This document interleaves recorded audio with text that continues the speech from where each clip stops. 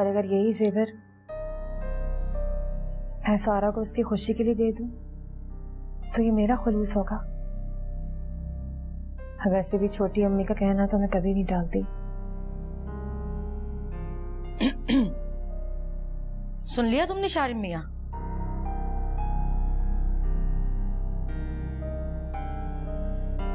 बच्चों I love you thank you so much मैं चलता हूँ। अरे बेटा चाय वाय तो पीते जाओ।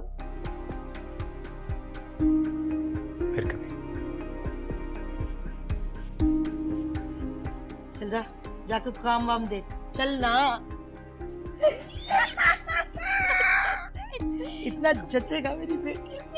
तभी तो मैंने यही वाला पसंद किया। बहुत ही अच्छा है वैसे।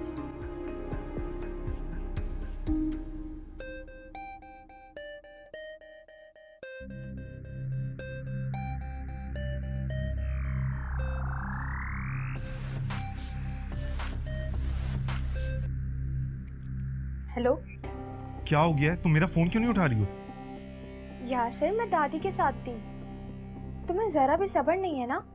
और कितना सबर करूँ? इतने दिन हो गए ना तुमसे मिला हूँ ना तुम्हें देखा है। तो मैं क्या करूँ? अभी कुछ दिन ऐसे ही रह गई सब कुछ। कैसे रहेगा? मैं कुछ नहीं जानता तुम मुझसे आज मिल रही हो बस। यासिर मैं तुमसे आज नहीं मिल सकती तुम इस बात को क्यों नहीं समझ रहे हो? पर क्यों? यासिर ये शादी का घर है। आए दिन मेहमान आ रहे हैं। मुझे उनसे मिलना होता है अगर मैं नहीं होंगी तो वो पूछेंगे कि मैं कहाँ गई।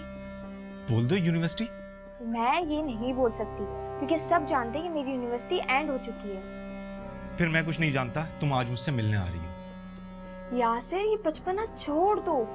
और वैसे भी मुझे उस दिन के बाद से डैड काफ़ी डिस्टर्ब दिखाई दे रहे हैं। मुझे लग रहा है कि उन्होंने सब कुछ सुन लिया। तो फिर तो ये बहुत अच्छी बात है। एक ना एक दिन तो ये होना था। तो चलो आज ही सही। मुझे लगता है कि तुम्हारा दिमाग वाकई में खराब हो गया है। दिमाग मेरा खराब हुआ है या मैं करूँगा तुम्हारे बाप का?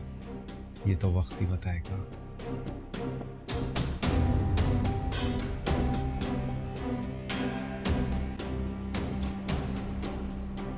मगर दादी जान उसको डिफेंड तो करना चाहिए मगर उसने तो देखो बेटा शरीफ घराने की बच्चियाँ माँ बाप की बात की नफी नहीं करती।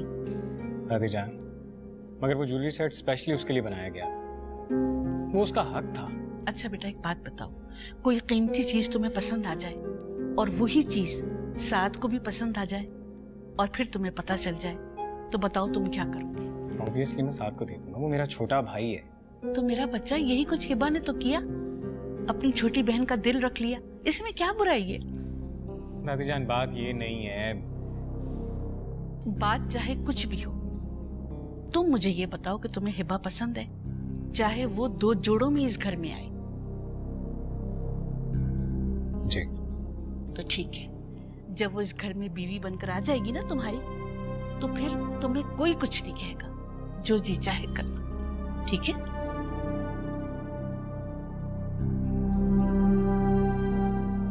मगर बेटा उस पर तो सबसे पहले तुम्हारा हक है ना?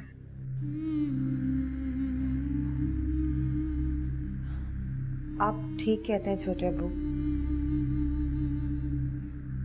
अगर मुझे मैंने वो सारे जेवर इसी नाते सारा को दिए और यकीन करें मुझे इस बात का कोई पछतावा नहीं है।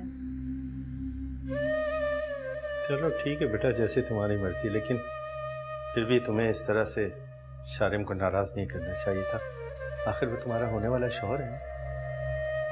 तुम्हें उसका पहले से ज़्यादा ख्याल रखना चाहिए। मैं जानती हूँ वो मुझसे नाराज़ है। और मैं ये भी जानती हूँ कि सारा मेरी छोटी बहन है। और छोटे अबू नए रिश्ते बनाने के लिए हम पुराने रिश्तों को नाराज़ तो नहीं कर सकते ना? वो रिश्ते जो तुम्हें हमेशा अपनाने से कासिर रहे उन रिश्तों की बात कर रही हो बेटा? छोटे अबू मुझे फिर भी उनकी खुशी का बहुत ख्याल है। चलो ठीक है बेटा जैसे तुम्हारी मर्ज़ी। खुश रहो।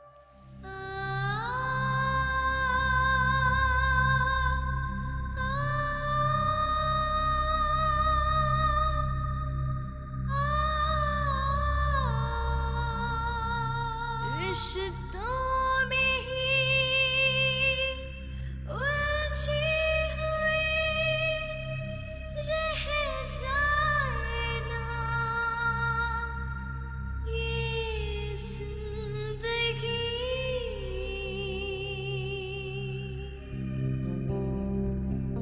क्यों कर रही है हिबा ऐसे क्या उसके घर वाले उस पर कोई ज़बरदस्ती कर रहे हैं कम से कम उसको मेरी मोहब्बत की परवाह तो करनी चाहिए थी। मैं इतने प्यार से वो सेट उसके लिए लेकर गया था और उसने लम्हा भर भी ना सोचा और फ़ौरन सारा को दे दिया। यकीनन कोई ना कोई बात है जो वो मुझसे छुपा रही।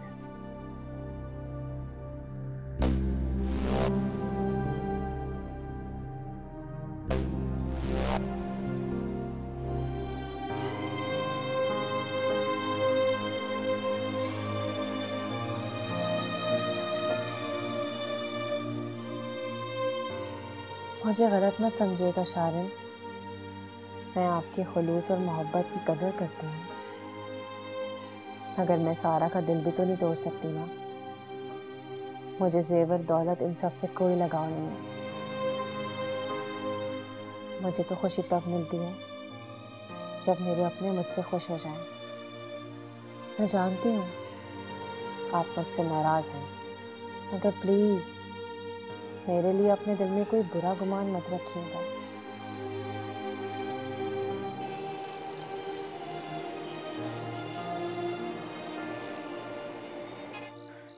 चले ये तो अच्छा हुआ कि शारिम खुद ही जाके तो सारे जेवरात दे आया। मुझे तो रोज़ ही देर हो जाती है।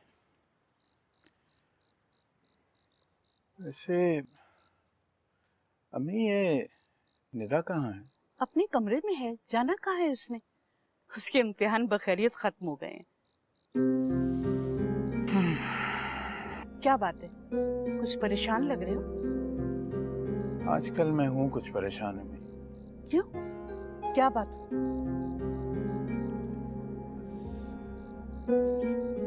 निदा की तरफ़ से परेशान।